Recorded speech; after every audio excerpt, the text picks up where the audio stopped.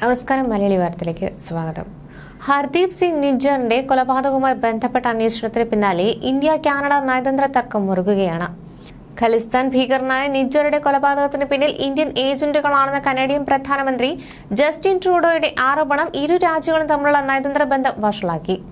തർക്കത്തിന് പിന്നാലെ Indian high commission അടക്കം ആറ് നയതന്ത്ര ഉദ്യോഗസ്ഥരെ കാനഡ ഒക്ടോബറിൽ പുറത്താക്കി. പിന്നാലെ ആക്ടിംഗ് ഹൈക്കമ്മീഷൻ അടക്കം ആറ് കനേഡിയൻ നയതന്ത്ര ഉദ്യോഗസ്ഥരെ ഇന്ത്യയും പുറത്താക്കിയിരുന്നു.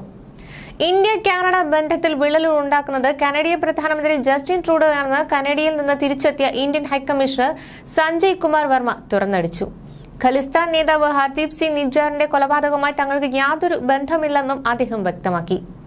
C T V private broadcast ന്യൂസിന് നൽകിയ അഭിമുഖത്തിൽ സംസാരിക്കുകയായിരുന്നു സഞ്ജയ്. ഏതൊരു കൊലപാതകവും തെറ്റാണ്. നിജാറിന്റെ കൊലപാതകത്തെ അപലപിക്കുന്നു. നിജാർ കൊലപാതകത്തിൽ തങ്ങൾക്ക് ഒന്നും ചെയ്യാനുണ്ടായിരുന്നില്ല. കൊലപാതകവുമായി ബന്ധപ്പെട്ട് കാനഡ യാതൊരു വിധത്തിലുള്ള തെളിവുകളും സമർപ്പിച്ചിരുന്നില്ല. ഇത് രാഷ്ട്രീയ പ്രേരിതമായ നീക്കമായിരുന്നുവെന്നും സഞ്ജയ് പറഞ്ഞു.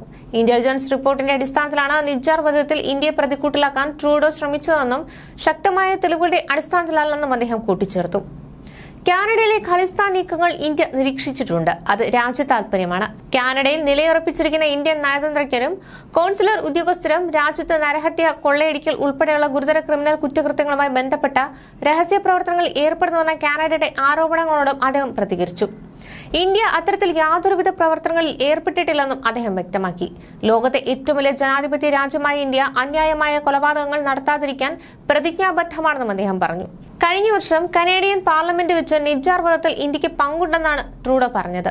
ഇതിന് പിന്നാലെയാണ് ഇരു രാജ്യങ്ങളും തമ്മിലുള്ള ബന്ധത്തിൽ വിള്ളലുണ്ടാകുന്നത്. കാനഡയുടെ ആരോപണങ്ങൾ അസംബന്ധമായിരുന്നുവെന്നാണ് കാനഡയുടെ വാദങ്ങളോട് ഇന്ത്യയുടെ പ്രതികരണം.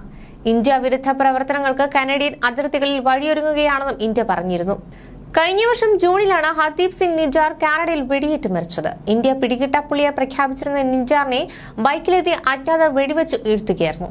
കഴിഞ്ഞ വർഷം സെപ്റ്റംബർ പതിനെട്ടിന് കാനഡയുടെ പാർലമെന്റിൽ സംസാരിക്കവെയാണ് പ്രധാനമന്ത്രി ജസ്റ്റിൻ ട്രൂഡോ വിശ്വസനീയ രഹസ്യാന്വേഷണ വിവരത്തിന്റെ അടിസ്ഥാനത്തിൽ കാനഡ പൌരനും ഖലിസ്ഥാൻ വിഘടനവാദി നേതാവുമായ ഹർദീപ് സിംഗ് നിജാറിനെ വധിച്ചതിന് പിന്നിൽ ഇന്ത്യയാണെന്ന് ആരോപിച്ചത്. എന്നാൽ ഈ ആരോപണം തെളിയിക്കാൻ ആവശ്യമായ തെളിവ് ഹാജരാക്കുന്നതിൽ കാനഡ പരാജയപ്പെട്ടു. ഒരു വർഷം നീണ്ട അന്വേഷണത്തിന്റെ ഫലമായി വ്യക്തവും ആർക്കും നിഷേധിക്കാനാകാത്തതുമായ തെളിവ് ലഭിച്ചുവെന്നും ഇതിന്റെ അടിസ്ഥാനത്തിൽ ഒട്ടവായിലെ ഇന്ത്യൻ സ്ഥാനപതി സഞ്ജയ് കുമാർ വർമ്മയടക്കം ആറുപേരെ ചോദ്യം ചെയ്യാനായി. നയതന്ത്ര പ്രതിനിധി എന്ന നിലയിലുള്ള സംരക്ഷണ കവചം ഇന്ത്യ എടുത്തു കളയണമെന്നും കാനഡ ആവശ്യപ്പെട്ടതോടെയാണ് പുതിയ നയതന്ത്ര യുദ്ധത്തോട് തുടക്കമായത്. ഇതേ തുടർന്ന് സ്ഥാനപതിയെ തിരിച്ചു വിളിക്കാൻ ഇന്ത്യ തയ്യാറായപ്പോൾ ഇന്ത്യൻ ഹൈക്കമ്മീഷണർ ഉൾപ്പെടെ ആറുപേരെ കാനഡ പുറത്താക്കിയതായി പ്രഖ്യാപിച്ചു. ഇന്ത്യ ആകട്ടെ കാനഡയുടെ Indian head of mission Stewart Ross Wheeler ഉൾപ്പെടെ ആറുപേരെയും പുറത്താക്കി. ശനിയാഴ്ചയ്ക്കകം ഇവർ രാജ്യം വിടണമെന്ന് ഇരു രാജ്യങ്ങളും ആവശ്യപ്പെട്ടിരുന്നു. കഴിഞ്ഞ സെപ്റ്റംബറിലും ഇതേ രീതിയിൽ ഇരു രാജ്യങ്ങളും നയതന്ത്ര പ്രതിനിധികളെ പുറത്താക്കിയിരുന്നു. റോയൽ കനേഡിയൻ മൗണ്ടഡ് പോലീസും കനേഡിയൻ വിദേശ മന്ത്രാലയവുമാണ് തെളിവുകളൊന്നും ഹാജരാകാതെ ഈ ആരോപണം ഉയർത്തുന്നത്. കാനഡയുടെ ആരോപണം സാമാന്യ യുക്തിക്ക് നിരക്കുന്നതല്ലെന്നാണ് ഇന്ത്യൻ വിദേശ മന്ത്രാലയത്തിന്റെ സുചിന്തമായ വാദം. അടുത്ത വർഷം തെരഞ്ഞെടുപ്പ് നടക്കാനിരിക്കെ അഭിപ്രായ വോട്ടെടുപ്പുകളിൽ ഇരുപത്തിയാറ് ശതമാനം ജനങ്ങളുടെ പിന്തുണ മാത്രമുള്ള ജസ്റ്റിൻ ട്രൂഡോ ജനസംഖ്യയിൽ രണ്ട് ശതമാനത്തിലധികമുള്ള സിഖുകാരുടെ വോട്ടിൽ കണ്ണുനട്ടാണ് ഇന്ത്യക്കെതിരെ ആരോപണം ചൊരിയുന്നതെന്നും ഇന്ത്യൻ വിദേശ മന്ത്രാലയം പറഞ്ഞു. ഇന്ത്യൻ സുരക്ഷയെയും അഖണ്ഡതയെയും ദോഷകരമായി ബാധിക്കുന്നതാണ് ഖലിസ്ഥാൻ വിഘടനവാദം എന്നതിൽ തർക്കമില്ല. അതുകൊണ്ട് തന്നെ വിഘടനവാദം ഏത് കോണിൽ നിന്ന് ഉയർന്നാലും അതിനെതിരെ കാര്യക്ഷമമായ നടപടി സ്വീകരിക്കുകയും വേണം. എന്നാൽ കാനഡയിലെ എട്ടു ലക്ഷത്തോളം വരുന്ന സിഖുകാരിൽ ചെറു ന്യൂനപക്ഷം മാത്രമാണ് ഖലിസ്ഥാൻ വാദത്തെ പിന്തുണയ്ക്കുന്നതെന്ന കാര്യം നാം മറന്നുപോകരുത്.